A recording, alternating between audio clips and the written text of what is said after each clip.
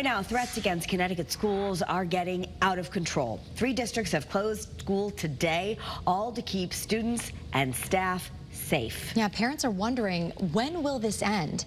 Channel 3's uh, Dylan Fearon, that is, is live in Bristol now as police are investigating. Dylan?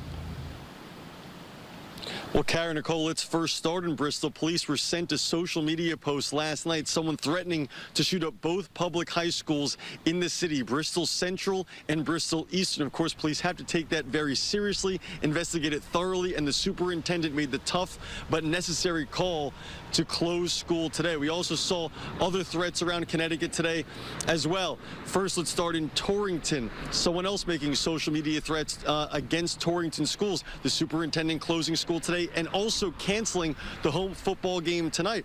We also saw Kara and Nicole multiple threats against Bridgeport schools. We know a 13-year-old boy was arrested in that situation as well. Police have to take these all extremely seriously. And of course, you go back to yesterday, guys, where a 13-year-old girl was arrested in Ansonia for um, allegedly posting a social media threat against the schools in that town. Police saying that student then confessed yesterday afternoon to making that social media threat and the consequences are severe, that she was charged with threatening and breach of peace, that she said she posted it on social media just to get out of school yesterday, and she was successful in doing that, but now she's facing the consequences of being charged.